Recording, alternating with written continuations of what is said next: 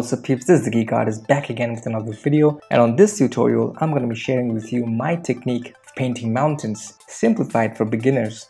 I'm going to be starting out with the basics of how a little child draws mountains with simple shapes and I'm going to break it down further, adding details step by step until we get the final result. And then I'm going to take it to the next level by changing the entire mood and lighting to give a more dramatic effect. So make sure to watch this video till the end to understand the full process so that you too can create this. Okay, so I'm going to start with a new canvas and I'm going to fill the background with a gray color because I find white to be too bright on the eyes. Next, I'm going to try to draw mountains the way little kids draw them. I'm to start with a basic horizon line and then I'm going to draw very simple triangles just like a kid would draw just simple triangles. And then maybe some clouds in the sky. And then a sun. And finally maybe a river. And the sun's reflection. And absolutely no reflection of the mountains whatsoever. So that's how a kid would normally draw mountains. So i'm going to focus on this exact same thing. And i'm going to pick up the area of the mountain. I'm going to try to break it down step by step starting with simple shapes. That is an arrangement of flat triangular shapes and then I'm going to roughly break them down into 3D shapes to add better volume. Now taking that as a reference I'm gonna start finally drawing the mountain. I'm gonna do a rough sketch of the basic silhouette or the outline of the whole mountain. And once I'm happy with the shape I'm gonna start selecting the entire shape with lasso tool. I'm gonna do it with one pixel feather so that the edges don't look too sharp like a flat cutout once that's done, I can delete the sketch layer. And then I'm going to add some colors to the background sky. I'm going to go with a very bright pink to give like a late afternoon lighting that comes just before dusk or sunset time. And a bit of warm gradient from below and then I'm going to take a new layer on top of the mountain's flat base layer and I'm going to set it to clipping mask on top of the base layer. What I'm going to do now is I'm going to select a textured brush. You can find the link to this brush set that I use in the description. You can download it and use the same brush. Now what I'm going to do is I'm going to flatten the brush and rotate it slightly so that I can get that nice flat angle. I can make nice use of the sharp edges. So what I'm going to do now is I'm going to decide where the light is going to hit the mountain so let's say the sun is on the right side and the light is going to be coming in and hitting the mountain and it's going to be lighting up the right side of the mountain. If you can imagine these mountains to be 3d pyramids then of course the light is going to hit the right side of these pyramids. Now i'm going to go back and choose the brush that i just customized and then i'm going to pick the same base color of the mountain and then choose a brighter version of it. And now i'm going to paint some random zigzag shapes on the right side of these mountains. I'm trying to break down the shape into different forms. It's not going to be a huge singular lump of colors. It's going to be a variation of large shapes and small shapes and all in a zigzag pattern. Notice how I'm avoiding very curved circular shapes. They're all very pointy and zigzag. And notice that the color I picked is more or less on the desaturated grayer side of the palette so that I don't add too much colors and saturation to this. So this is overall my entire lit up surface of the mountain.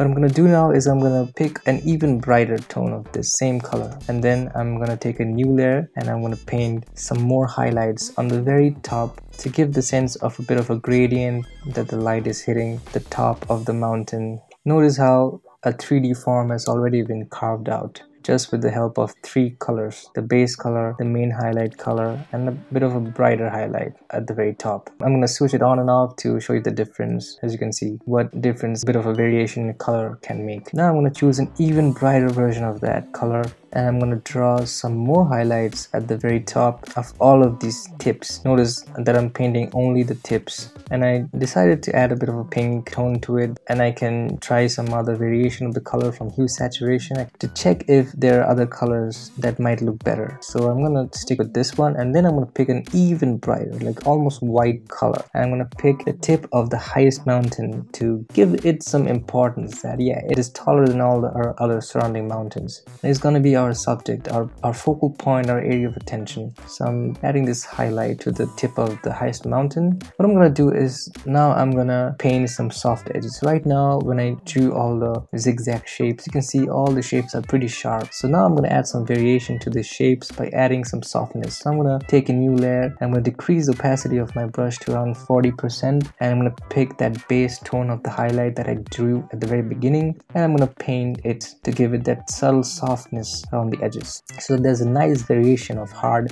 and soft edges to give it that realistic volume not gonna make all the sharp edges soft. I'm gonna maintain a nice balance of hard edges and soft edges. I'm gonna switch the layer on and off to show you the difference that it makes. I'm gonna try some other variations on that by using some color adjustments to see if i can add a bit more of color vibrance to the whole scene. Just adding a little bit more of a reddish tone to it to give it some more variation. What i'm gonna do is now i'm gonna pick the color of the sky and I'm gonna choose a darker tone of it and then I'm gonna draw some bounce light on the darker part of the mountain that is the shadow part. It's gonna have some bounce light some environmental ambient light falling on it. And notice how I'm also making it brighter towards the tip just like on the other side receiving direct light from the sun to sort of strengthen that tip a bit better I'm gonna switch it on and off to show you the difference and I'm gonna try some other color options I'm going to make it a bit more pinkish so that it fits better with the sort of color I use for the background sky. Now what I'm going to do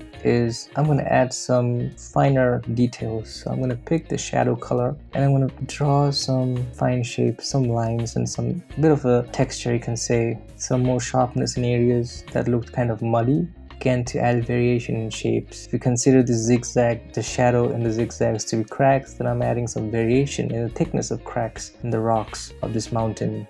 I'm gonna decrease the opacity a bit and now you can see the difference. What I'm gonna do finally at the very end is I'm gonna use a bit of a gradient from the bottom so I'm gonna pick a darker color. I'm gonna using a soft round brush with low opacity. I'm gonna draw some dark shade at the very bottom. So there's a nice gradient. I'm gonna set it to overlay blending mode. I'm gonna decrease opacity so that there's a bit of a vignette effect that pulls your attention towards the tip of the mountain and not towards the base. What I'm doing now is I'm erasing some portions of the layer that are facing the lit up side of the mountain so that there's a bit of a variation. So there we have it. There's a mountain and it can be achieved in a very simple way in just a few layers. What I'm gonna do now is that I'm gonna take the whole thing to a new level. So I'm gonna increase the overall contrast of the whole image by taking a level adjustment layer. So what it does is it not only increases the contrast but it makes the scene a bit darker. Now I'm gonna make the background sky a bit more high contrast and dark so that it resembles more of a sunset kind of a dusk time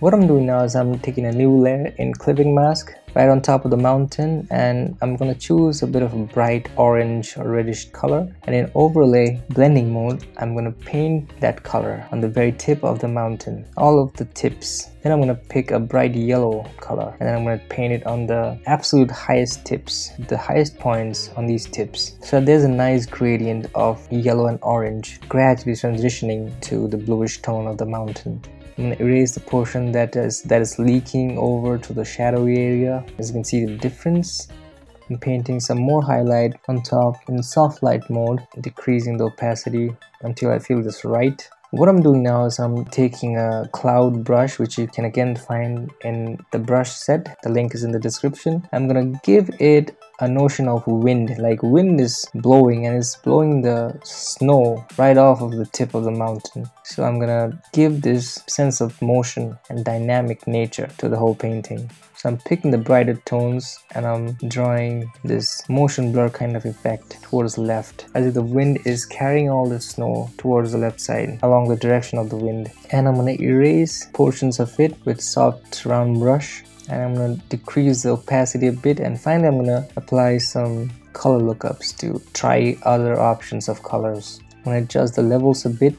Finally, I'm going to apply some chromatic aberration. It's an easy two second step. And finally, I'm going to add some noise. And once that's done, I'm going to do some final color adjustments from color balance to get that nice colorful dusk time dramatic effect. So that was it guys, that was my technique of painting mountains and I hope you found this tutorial helpful. Make sure to check out my other videos and subscribe and click on the bell icon to check out my future videos. If you have any questions or feedback make sure to leave a comment so until next time peace